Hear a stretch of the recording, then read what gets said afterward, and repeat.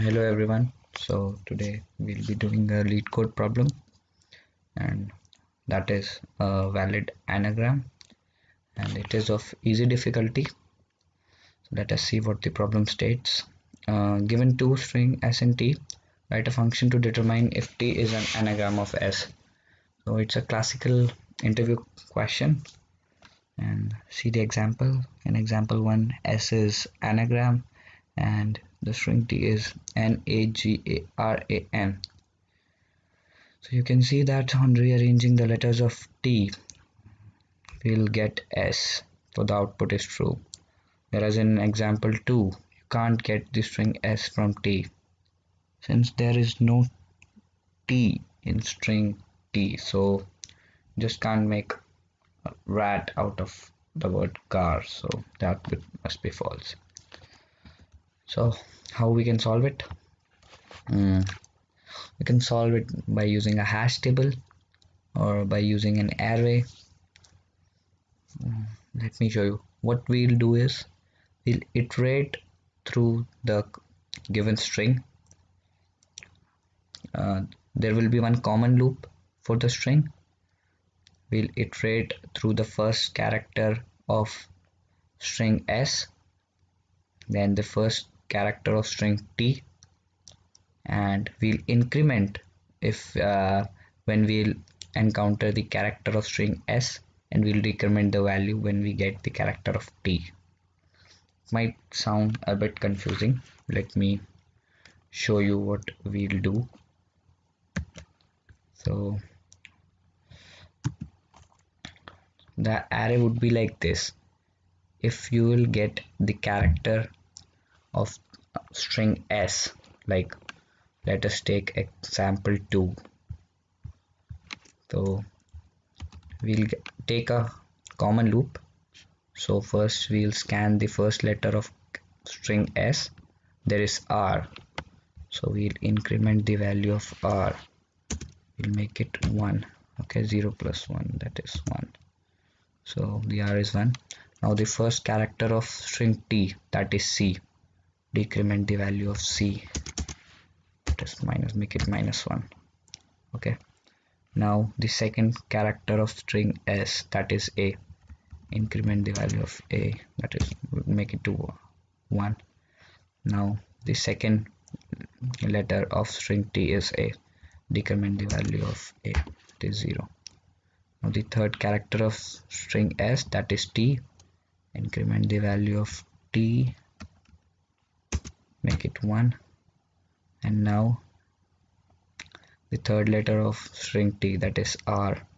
Decrement the value of r make it 0 now the string ends here. So after incrementing and decrementing the value at the end we'll check if the array contains all the at all the indexes whether there is 0 or there is some other number. If the string is anagram of the first string then there must be 0 at every index. So at last we'll just check that whether all the value at all the indexes are 0 or not. And if the value anywhere in if the value at the index anywhere at the in the array if the value is non-zero then the output is false else the output is true so let us code. So we'll have to code. So first of all if s dot length is not equal to t dot length.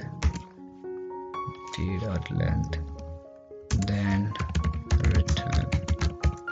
false if the length of s will not be equal to length of t and of course the second string will not be an anagram of the first.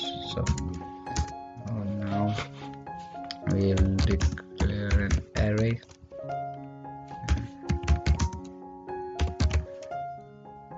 The size would be 26 since the number of alphabets in English language is 26 and no other special symbols is used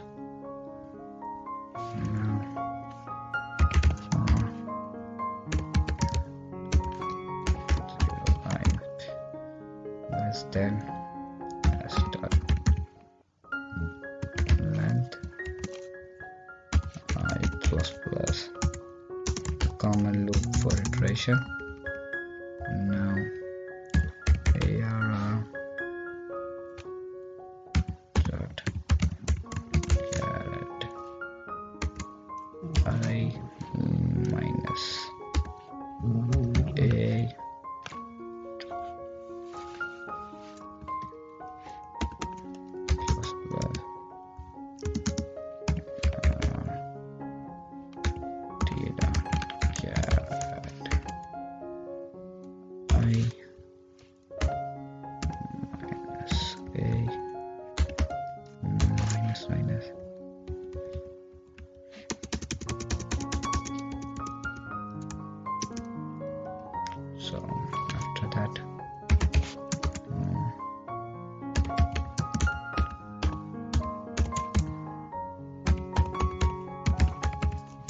after this this loop will check whether at any index there is a non-zero value or not.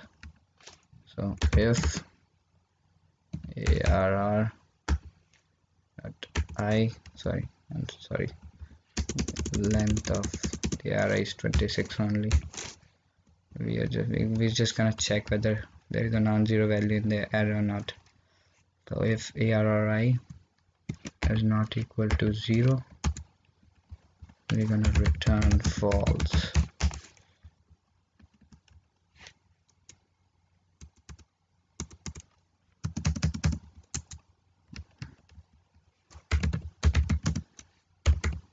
Else if all the values are 0 our function will return true. This looks fine. Let's run it